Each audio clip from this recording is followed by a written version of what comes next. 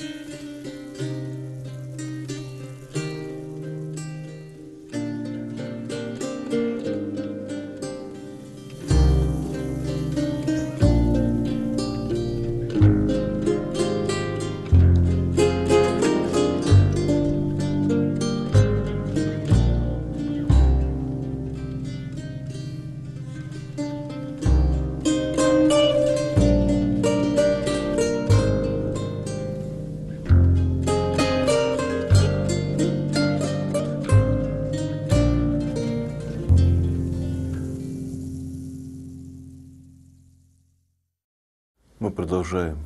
читать книгу «Левит» и продолжаем разговор о жертвоприношении.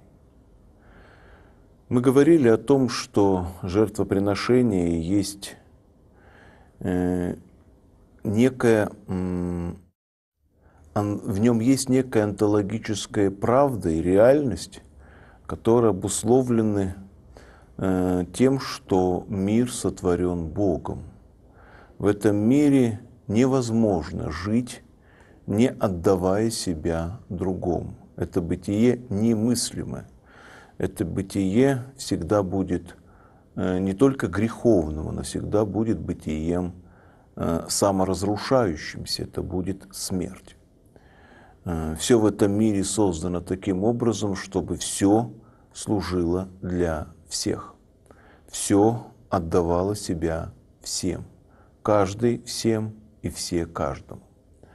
Э, это закон бытия, который конституирует бытие как бытие. Оно по-другому невозможно. Это некие фундаментальные законы, которые вложил в него Бог, существующий также. Мы говорили также и про то, что грех, который все-таки сотворил человек, он внес в это бытие для другого, внес определенные э, поправки. И вот эта самоотдача э, в любви, оно стало неразрывно связано э, со страданием. То есть не случись бы греха, суть человеческого бытия была бы в том, чтобы всецело отдавать себя другим людям, другому человеку и всему миру. И в, этом бы отда... в этой отдаче человек находил бы совершенное наслаждение, это и было бы его э, пищей и высочайшей мерой наслаждения доступного твари. Э, но поскольку человек согрешил, то вся эта Э, все это бытие, способ бытия, он стал неразрывно связан со страданием. Вот. И мы говорили о том, что грех, он э, сам по себе является вратами смерти, он открывает смерть, потому что э, он вводит смерть в бытие, он вводит смерть во Вселенную, Э, вся Вселенная начинает э, жить, пребывать в смерти, и особенно в этой смерти пребывает человек, он ощутительно пребывает в этой смерти. Конечно, все творение стенает и мучается до ныне, но особенно человек, полный, э, так скажем, мерой, вкушает эту смерть, на которую он сам себя обрек. И важно понимать, мы это говорили о том, что этот э, как бы факт смерти как образа существования Вселенной после грехопадения, этот факт э, есть явление естественного порядка. Не наказание, Бог не наказал творение смертью, он э, вообще никак не наказал в прямом смысле слова этого творения ничем. О, смерть является последствием совершенного греха. Э, вот скажем, когда мы возьмем, например, э, и проткнем себе сердце ножом, то смерть не является наказанием за то, что мы обидели сердце Смерть является следствием этого удара ножа. Если мы, например, сделали петлю и затянули у себя на шее, э, упустив из-под ног э, табуретку, то наша смерть не является наказанием за брошенную табуретку, а смерть является последствием тех действий, которые мы сделали. Горько, печально, ничего не сделаешь, но это вот последствия. Также и смерть человека, она явля... не является наказанием за то, что человек съел какой-то плод, тем более какое-то яблоко, а потому что человек э, разрушил собственную жизнь. В доверии к Богу, в послушании к Богу и была его жизнь. Он отринул послушание и отринул жизнь. И поэтому грех, он э, есть смерть, он есть э, просто вот не могу я найти других слов, он просто есть смерть. Совершая грех, человек совершает убийство самого себя, как у нас в русской литературе это э, стало особенно известно со слов Э, Родиона Раскольникова, который сказал, осознав, собственно, всю правду этого явления, я себя убил, а не старушонку. Это объективно так, это факт, который Раскольников вкусил, почувствовал, проникся, э, напился этой смертью с избытком всем своим существом. Он это знал, и, в принципе, любой человек, он, э, совершая грех, он убивает себя, он погружается в смерть. Конечно, есть грехи не к смерти. Например, если я, скажем, э, забыл сказать спасибо маме за ужин, или сделал замечание жене о том, что суп недосоленый, это не является грехом к смерти. Если я, например, Э, взял и в пост э, поел э, колбасы, а на Рождество, скажем, вот решил воздержаться и не есть колбасы, то это все не является грехом к смерти. Но есть грехи, которые, они все названы как заповеди Божьи, нарушение этих заповедей Божьих является грехом, вот они человека убивают. Нарушение этих заповедей является смертью. Грех несет смерть. И в этом смысле смерть, надо понимать, смерть она несет человеку. Человек должен умереть. Вот, он согрешил, и смерть является онтологической реальностью, онтологическим последствием греха. Не наказанием, не экзекуцией, не санкцией, а последствием. Вот мы не понимаем это. У нас нет сознания никакой связи между грехом и смертью. Нет. Потому что мы забыли, благодаря чему мы можем прийти на исповедь и сказать, прости меня, батюшка, я согрешил. У нас это просто автоматически, будто батюшка берет и прощает. Будто бы он может исцелить человека от греха или простить ему грех. У нас завуалировалась эта связь. Вот для того, чтобы она не вуалировалась, чтобы она была очевидной, древнему человеку было повелено вместо человека убивать животное. И меня, конечно, вот часто задают вопрос, поскольку я преподаватель по Ветхому Завету и много-много-много разных бесед провожу на эту тему, мне всегда спрашивают, ну как это же жестоко. Вот, э, знаете, честно скажу, меня это просто вот выводит из равновесия. Ведь в 80% случаев э, смертный грех реально должен был заканчиваться смертью человека, то есть за этот грех нужно было убивать человека.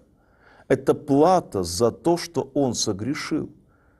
Это жестоко, да, мы скажем, конечно, жестоко, очень жестоко, но если его не убивали – то через 10 лет вместо этого человека убивалось, умирало тысячи людей. А через э, какое-то время умирало 100 тысяч людей за то, что одного человека не убили. Вот последствия мы будем еще разбирать, скажем, исторические книги. Вот один человек согрешил грех, совершил грех в Иерихоне. Да какой там грех? Взял просто понравившиеся ему никому не нужные драгоценности – из-за него погибло несколько десятков тысяч человек.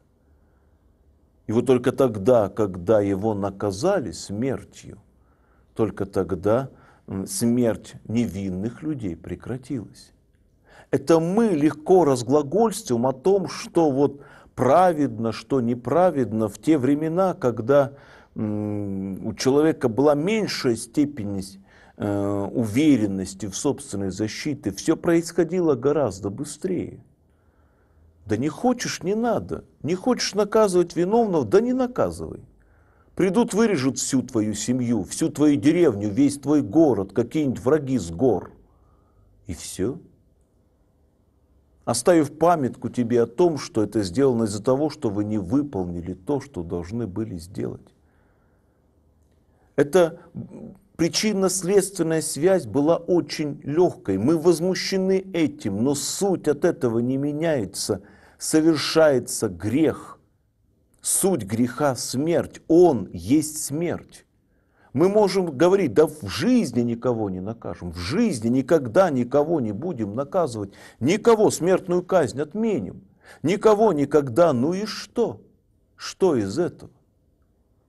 Ну как, вот же никого не расстреливают, никого не вешают, никого не казнят, у нас мир.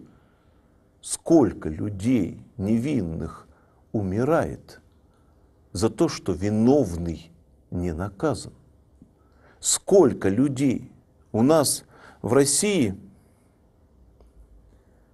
забыл точную цифру, э, но смысл в том, что в день умирает, в день умирает 200 тысяч младенцев, которые умирают посредством того, что совершается аборт.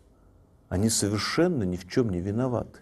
200 тысяч в день. Это больше, чем Великая Отечественная война. А в свою очередь этот грех, который совершен людьми, убивающими э, собственных детей, это тоже грех, и он не наказанный. И смерть разливается кругом, все люди умирают. От рака, этих э, Э, сердечно-сосудистых заболеваний, автокатастроф, алкоголя, наркомании, стихийных бедствий, чего угодно, смерть правит миром. И единственный способ – это отдать должное тому, что нужно сделать. Если мы, нам только кажется, что закрыв какого-то человека от смерти, мы прекратили дорогу смерти. Нет. Есть Э, хорошая притча на эту тему. Как-то Светлана Кополова спела песню про то, как два ангела шли вот, и смотрели, заходили в разные дома, и вот они зашли в дом богатых, потом зашли в дом бедного. Вот у бедного э, так получилось, что когда бедный, при, богатый не принял ангелов, и это самое, ничего хорошего им не сделал, а бедный принял, положил на свою постель, все хорошо, а утром Э, выясняется, что корова, единственная кормилица, умерла. И с нашей точки зрения это не, не, непостижимо, что ангел не может ничего сделать. И один ангел другому говорит, ты как, ты почему не защитил? Говорит, так я защитил. Смерть-то пришла за хозяйкой. Я уговорил, всю ночь уговаривал взять корову, а не хозяйку нам без, для нашего сознания это непостижимо, а что так вот не судьба с пустыми руками уйти. Но это притч, не судьба. Не судьба. Только в Ветхом Завете все наоборот. Или, ну вот, как бы не наоборот, а вот суть-то в том, что смерть приходит за человеком, а ты вместо человека отдаешь животное. Только вместо человека. Если ты не отдашь смерти ничего, она возьмет не только этого человека, но и десяток других людей или тысяч. Потому что грех несет с собой смерть. Это органическое последствие, а не какое-то вот волевое последствие. Если я, э, скажем, выпускаю вирус, то от него умирают люди – я могу спастись, но последствия этого э, действия, они очевидны, люди будут умирать. Также тут, если я совершил грех, будут умирать люди, или я должен что-то сделать, какую-то смерть причинить себе, или в данном случае жертвоприношение, жертвенному, жертвенное животное.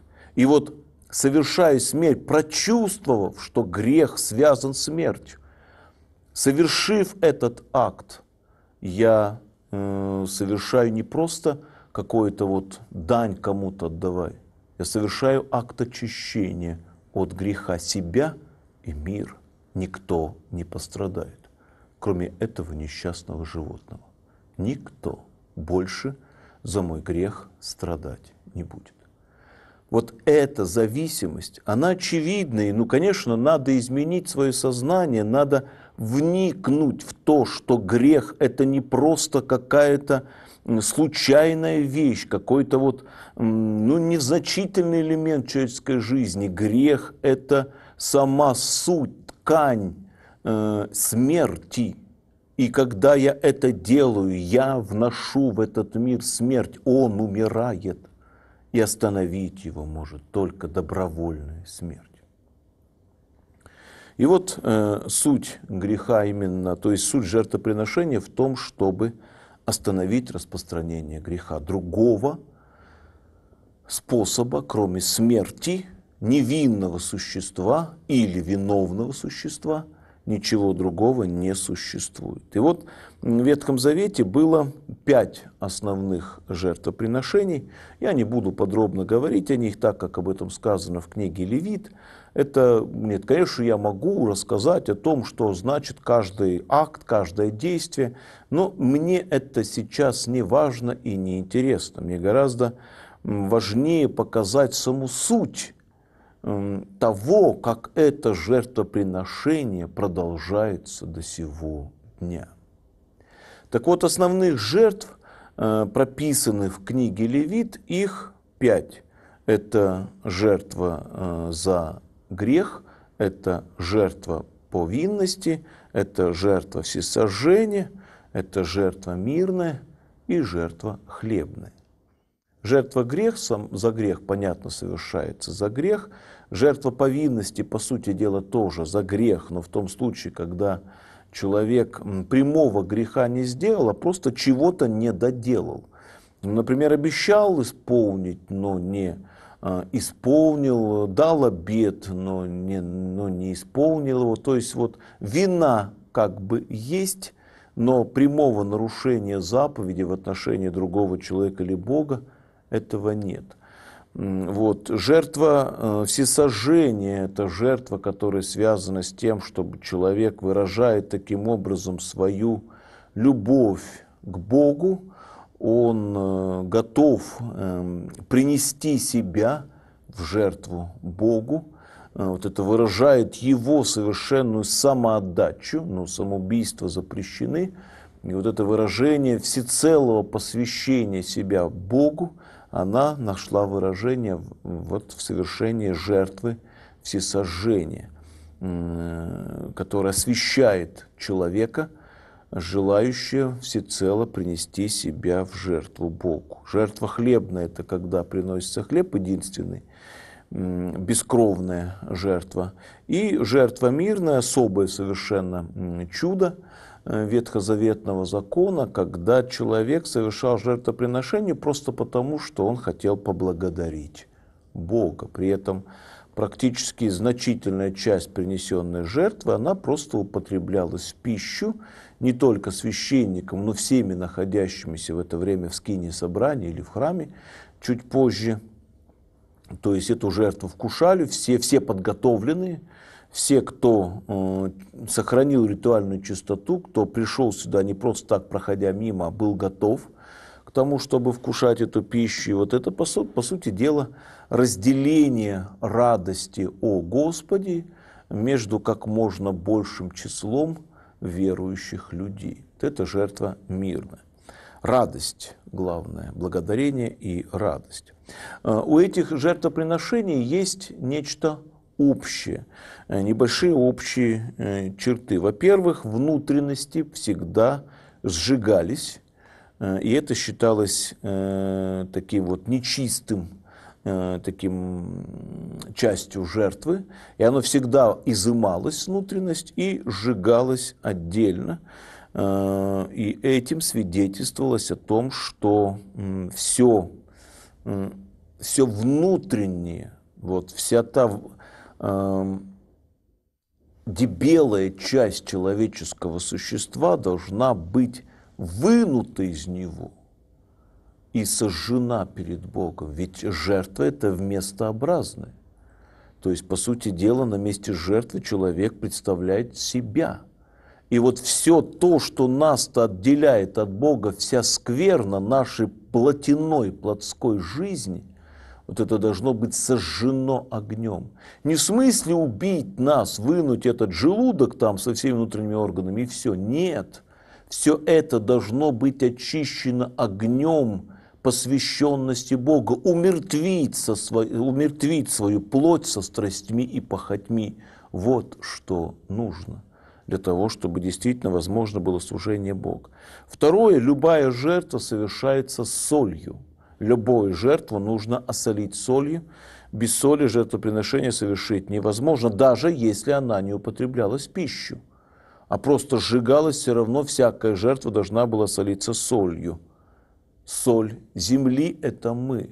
Соль земли мы потому, что мы должны быть причастны Богу, мы должны быть причастны благодати Святаго Духа. Он – залог соли, Он осаливает жертву любая жертва должна быть совершена в Духе Святом, без Духа Святаго, без присутствия э, Духа никакая жертва Богом не считается совершенной, принесенной, просто не принимается. И человек, кроме вот последней общей черта, это человек, совершающий жертвоприношение, он должен был э, воочию, положив на свои руки на голову жертвы, он присутствовал при акте, так должно быть, потом это уйдет, неприятное действие. Он должен был присутствовать при акте заклания жертвы, и кровь этой жертвы должна была окропить его руки. Он должен был знать, что таковы последствия греха. Он должен был постоянно напоминать себе, что грех – это смерть, чтобы не забыть эту связь и перестать грешить. А в итоге вот все эти жертвоприношения, они совершаются до сегодня. Они по-прежнему совершаются в церкви, только этот закланный, э, закланное животное – это Христос, Сын Божий, Бог, взявший на себя грех мир. И в Евхаристии мы присоединяемся к этой жертве, эта жертва осаливается, ибо сходит благодать Святаго Духа. Это и жертва за грех, потому что благодаря этой жертве э, Христа наши грехи все очищаются. И мы вкушаем эту кровь этого агнца и очищаем себя от греха. Это жертва всесожжения, потому что мы Твоя от Твоих приносим. Все, что нам дано, мы отдаем Богу, сами себе и друг друга, и весь живот наш Христу Богу предадим. И мы отдаем себя Христу, Христос отдает нам себя, и мы становимся одним целым с Богом. И это жертва мирная, потому что само слово Евхаристия переводится как благодарение, и мы разделяем эту благодарность перед лицом Бога и эту радость перед лицом Бога, разделяем общей нашей трапезы, вместе вкушая эту, этот дар Божий, эту пищу, эту жертву, дарованную нам для того, чтобы мы благодарили радовались и жили вечно. thank you